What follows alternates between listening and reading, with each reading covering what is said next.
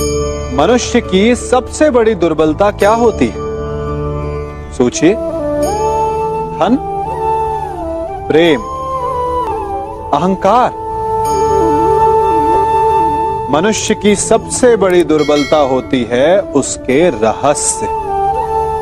चाहे आप कितने भी शक्तिशाली क्यों ना हो, कितने भी प्रबल क्यों ना हो, परंतु उसके रहस्य, उसके नाश की चाबी होती है।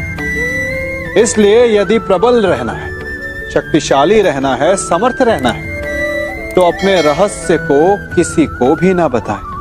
ना मित्र को और ना ही शत्रु को। क्योंकि समय पड़ने पर कब कौन शत्रु हो जाए, ऐसा कहना संभव नहीं। विभीषण को रावण के अमृत कुंड का ज्ञात था। इसीलिए प्रभु श्री राम, रावण का वध करने में सफल हो सके। इसलिए उचित यही है कि आप अपने रहस्य को स्वयं तक ही सीमित रखें।